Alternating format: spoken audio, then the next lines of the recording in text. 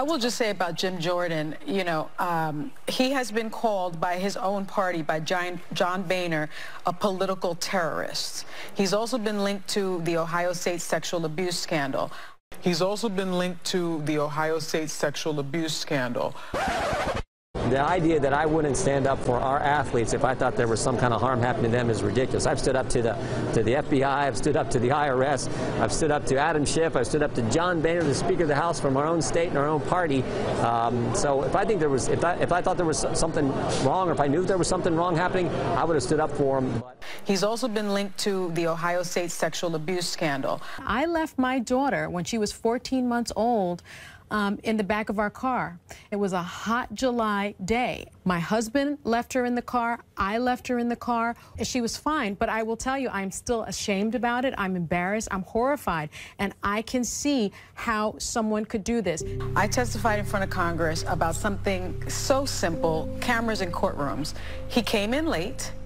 He looked disheveled, and he immediately was screaming and yelling and terrorized me and the other experts on the panel. And describing him as a terrorist is exactly that. He's a chaos agent, and it came out of nowhere, and he had no command of the subject that we were talking about, which made it even scarier. So to have him, the thought of him being the Speaker of the House, I think leads to more chaos. Thank he you. came in late. Ms. Hostin, five minutes.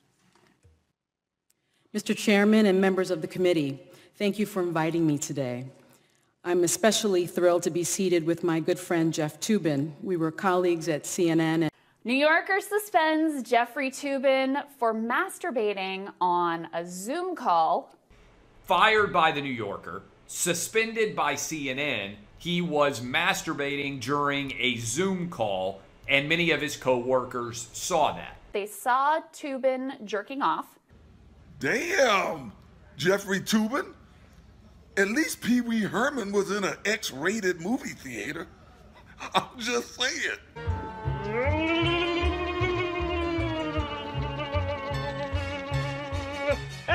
Toobin lowered the camera. The people on the call said they could see Toobin touching his penis. Toobin then left the call. Moments later, he called back in, seemingly unaware of what his colleagues had been able to see. What exactly happened? Was it just you just left open the screen? I, you know, I'd rather not go into the, the, the grisly details. The only thing I'll say about it is I didn't know other people were were on the Zoom call, were watching. I mean, this was not an intentional act on my part. I don't really want to go into the details. You know what? then we agree. Jacking it, jacking it, jacking it, jack. Spanking it, jacking it, spanking it, smack. He looked disheveled, and he immediately was screaming and yelling and terrorized me and the other experts on the panel. I'm Donald, Donald Trump, and I'll protect you from the scary black people. I haven't done the research, but I have been told that I am the only network African-American journalist with a journalism degree, a law degree, I'm a former federal prosecutor and a member of the Supreme Court Bar. So I am somewhat of a unicorn. Me and the other experts on the panel. Not the most qualified person perhaps to give a perspective, but I do believe I have a unique perspective representing a particular community. The judicial system disproportionately affects the African American community in this country because African Americans are the most incarcerated people in the world. Blacks are 13% of the population, but commit about 30% or so of the hate crimes. Uh, whites, at 60% of the population, commit about 50% of the hate crime. So whites are under committing hate crime uh, when you compare it to their percentage of the population, while blacks are over committing hate crime.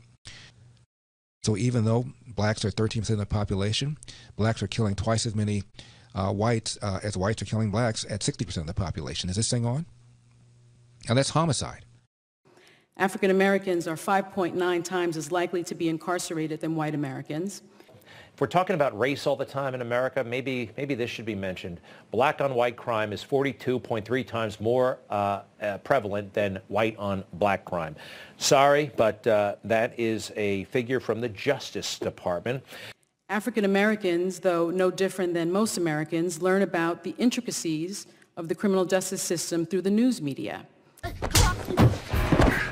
How's that for a badass? Ooh, world star! World star! However, African Americans consume more news media than any other group in the U.S. African Americans watch 37% more television than any other demo, demographic.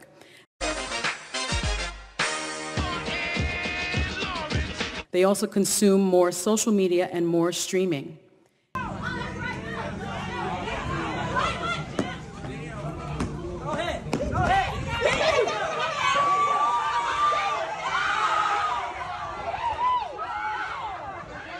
Many of my legal journalist colleagues go to a three-day law school course to prepare them for a career as a legal journalist. I watch as well-intentioned reporters doing the very best they can with networks in a rush to be first, get the law wrong instead of getting it right. Antifa is widely perceived as an African American organization. When televised, accuracy is a given, veracity is a given.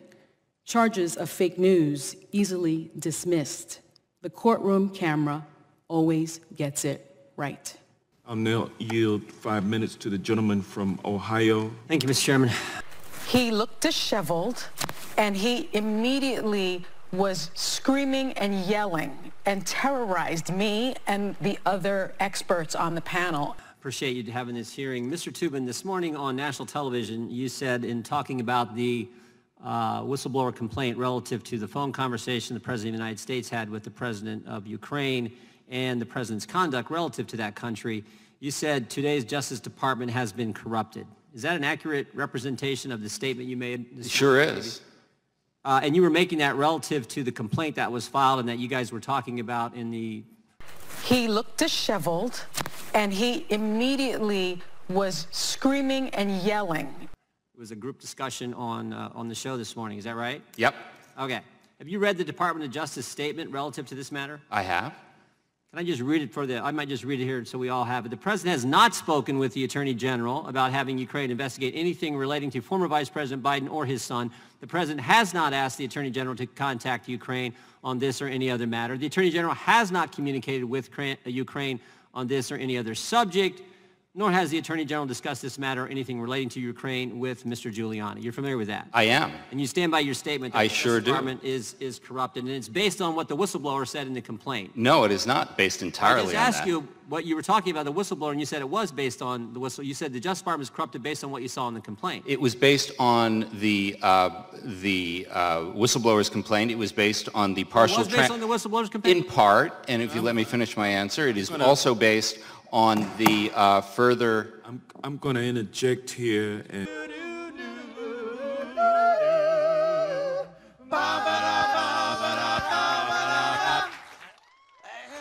Um, Wolf, um, uh, um, oh, to, although these terrific, uh, sorry, what? Uh, it's within my discretion to allow you to continue uh, along this line, and I'm going to do so from uh, I'm going to allow you to uh, continue, but I just want to caution you that in the future, I'm not going to tolerate this kind of imposition in uh, my subcommittee hearings. All due respect, it's entirely germane. Well, you have no right uh, to The heck I don't. that, but I will. The heck I don't. No, you my don't. time, and it was Well, it was uh, uh, 3:35, and I have every right to ask. The witness actually in his opening statement brought up Ukraine. I didn't. The witness said on national television the very statement I said that he said on TV, and he said he agreed that that was an accurate representation of what he said. He brought up Ukraine in his opening statement. And I'm you gonna- know I have full discretion to ask the kind of questions i I'm want. gonna- and I'm gonna need, re- I need three minutes and 35 seconds on the clock. I'm going to restore your time. And Appreciate I'm going, it. I'm going to ask you that in the future, uh, you respect This the is- integrity. Uh, hold on. I want you to respect the integrity of my subcommittee hearings and not bring in this extraneous uh, issue Would you yield for a that question? has no Chairman, yield for a question? that is that is not germane to this This is the Judiciary Committee. We have a witness testifying in front of the Judiciary Committee who today on national television said the Justice Department is corrupt. If that's not relevant, tell me what is for this committee. No, this hearing is about secrecy in. Uh, That doesn't change the fact that the witness brought up Ukraine in his opening statement this morning on, this morning on national television said the Justice Mr. Department is corrupt. Mr. Jordan, if we're going to uh, have a discourse, I'm going to need for you to listen to me just as I'm listening to you. I object to you bringing this subject into this hearing because it's not germane, but I'm going to allow you to you, continue. Chairman. But I'm going to ask that in the future, uh, you limit yourself to this hearing, uh, intruding with extraneous material such as this. And with that, I, I will do yield my best, you- Mr. Chairman. I'll- Well, thank you, and I'll yield you uh, three minutes and 30 seconds to uh, uh, continue your questioning. Our witness who said this morning the Justice Department is, is corrupt on national television, basing that, at least in part, earlier said, basing that on the whistleblower uh, blower complaint. We need to remember a few things about this whistleblower. He had no firsthand knowledge of the phone call. He wasn't on the call, but we do know one thing about this whistleblower, Mr. Tubman. He had a political bias. We learned that from the Inspector General. Inspector General told us there was indicia of arguable political bias. You know what that is? That's Washington speak for this guy hated Trump. And yet that is the basis for our witness telling us that the Justice Department is, is corrupt. Let me give you a Wait, can I, would you like an answer? I will in a second.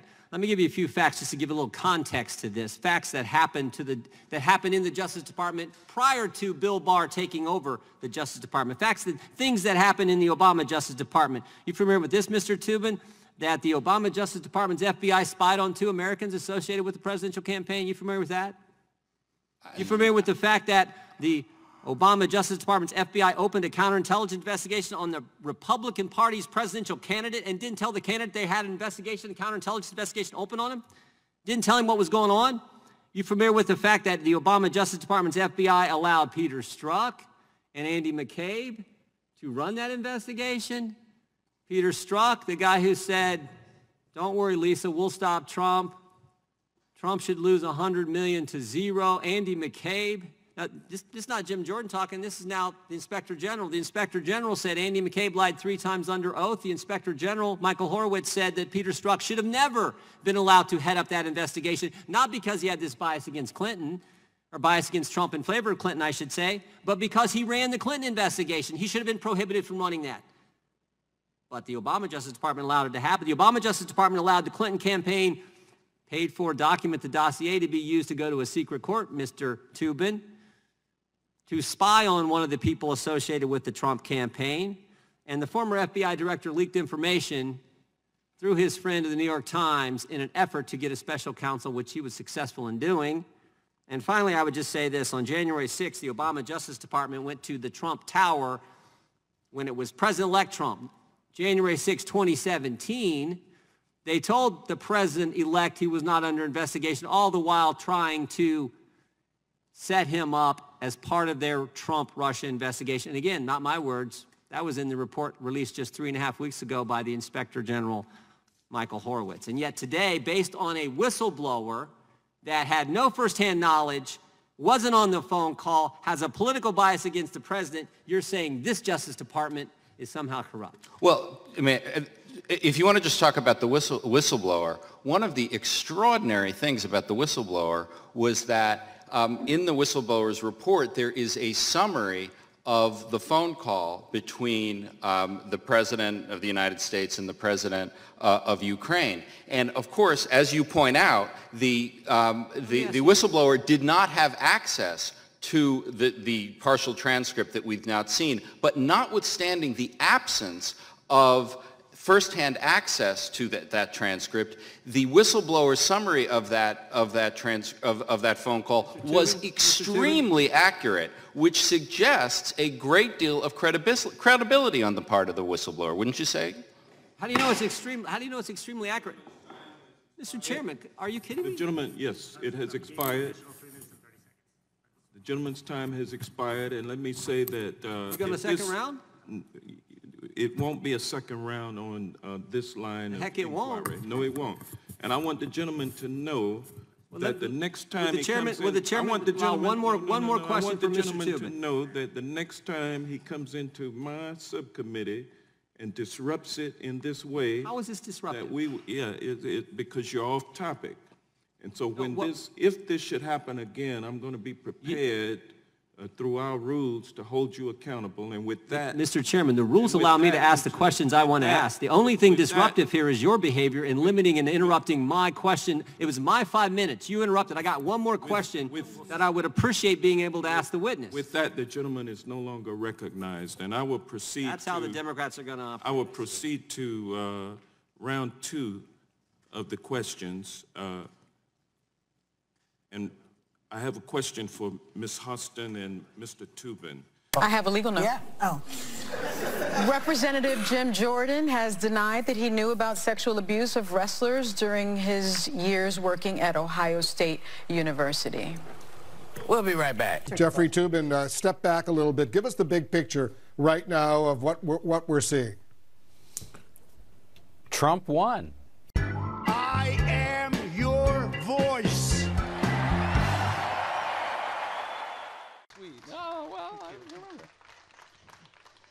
Where, was I? Um, uh,